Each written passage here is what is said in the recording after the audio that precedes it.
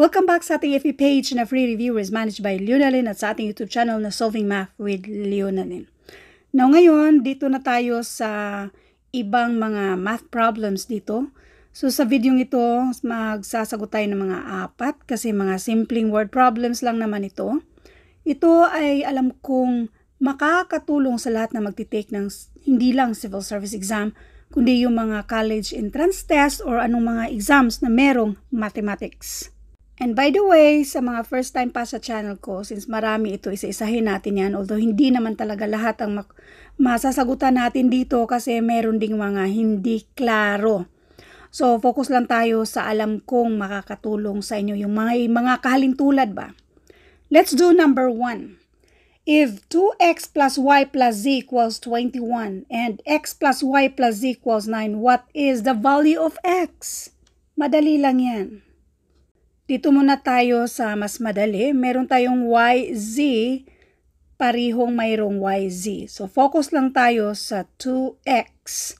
This is equal to 21. Tapos yung isa ay X equals 9.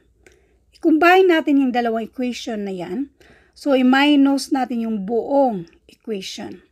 2x plus uh, minus x, this is x na lang. 21 minus 9. And this is 12. So, yan na yung value ni x. So, anyway, detalye natin. Isulat natin yan lahat. Itong 2x plus y plus z equals 21. Yung isa naman ay x plus y plus z equals 9. Combine kasi natin yung buong equation na yan. So, mag-minus tayo. 2x minus x. Laging tandaan kapag walang coefficient nakalagay sa mismong uh, variable na yan, automatic 1 yung coefficient dyan. So, para lang ding nag-minus tayo ng 2 minus 1 and that is 1. Isang x na lang ang natira.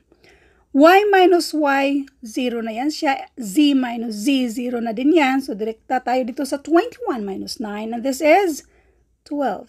Kaya ang value ni x dito ay 12. Next, number 2. 47 more than 6 times the number is 83. What is, or find the number. 47 more than, ang ibig sabihin yan ay plus 47. Saan natin yan ipa-plus? Dito sa 6 times a number. Itong number, let x, y, z, kung anong variable ang gusto nyo. So, gawin lang natin n. 6 times a number, that means 6n. Ang is equal yan siya. And this is 83. So, ito na yung equation sa problem na ito. Kadalasan pa naman, ang karamihan, yung pinaka-problema nila ay kung paano gawan ng equation yung mga word problems. So, ngayon, ipagsama natin yung mga like terms. Itong 47, since pang-add yan siya, kapag matransfer pang minus na siya dito sa 83. So 83 minus 47, and this is 36. So we have 6n equals 36. Para makuha natin yung value ni n, since si 6 ay pang multiply dyan, pang divide na yan sa kabila. In other words, na-divide na ng 6 to both sides para n na lang ang matira.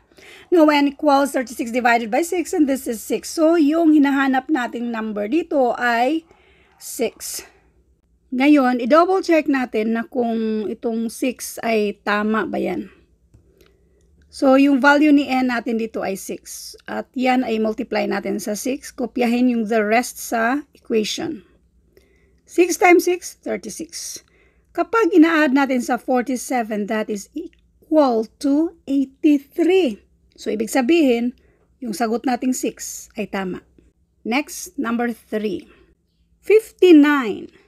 Less than half a number is 47.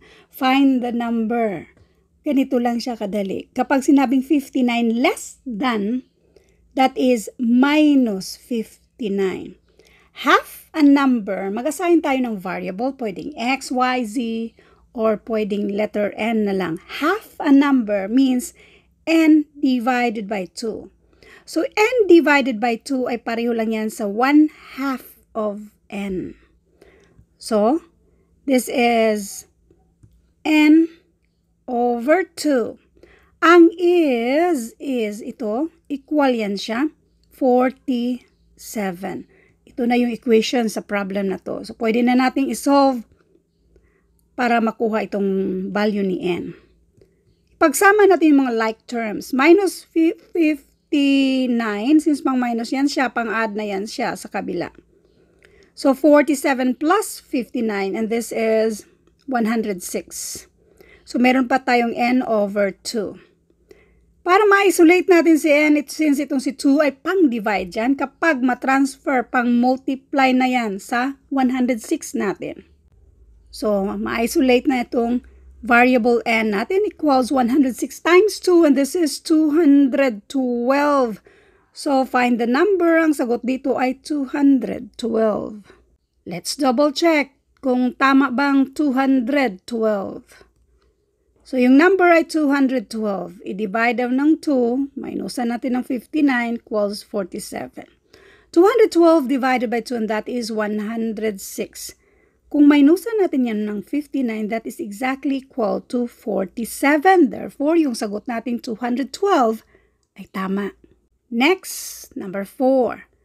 The difference between two numbers is 14 difference. Ibig sabihin mag-minus tayo. Let A and B para sa dalawang numbers na to.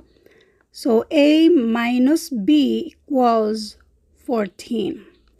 The larger number is equal to 3 times the smaller number. So, asaan ang larger natin? Itong letter A. Kasi nga, yung sagot naman dyan ay 14. Yung difference ay positive 14. So, yung A natin yan yung larger number. Ang larger number daw a, the larger number, is equal to 3 times the smaller number. 3 times daw dito sa smaller number, which is B, less 18. So, this is minus 18. So, ngayon, meron na tayong value ni A, which is, itong A na to, which is 3B minus 18. So, kopyahin natin yung the rest sa operation. Minus B equals 14. Now, ipagsama natin yung mga like terms. 3b minus b. Laging tandaan kapag variable yan, variable lang ang nakasulat, yung coefficient dyan ay 1. So, that means 3 minus 1, that is 2. So, this is 2b. 2b. Next, since itong minus 18, pang minus siya dyan kapag ma-transfer, pang-add na siya sa 14. So 14 plus 18 and this is 32. Now, para makuha natin yung value ni B, since si 2 ay pang-multiply dyan, pang-divide na yan sa kabila. In other words, nag-divide ng 2 to both sides para makancel yan siya. Ma-isolate na natin si B. B equals 32 divided by 2 and this is 16. Meron na tayong value ni B dito which is 16. Ang tanong, find the larger number. Yung larger number daw according dito sa given, larger number is equal to 3 times the smaller number. So 3 times daw, ito kasing B, yan yung smaller number natin. I-multiply natin sa 3, this is 48. Then less 18, so minus 18, and this is 30.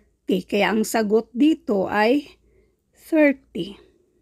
Double check natin. Kung itong si 30, yan yung larger natin, larger number. Itong si 16, yan yung smaller natin. Kung kukunin natin yung difference dito, so i-minus natin. Kung kukunin natin yung difference, this is equal to 14. 14 daw yung difference. Therefore, yung sagot nating 30 ay tama. Thank you for watching and all I hope mayroon kayong natutunan sa videong ito. Thank you and God bless.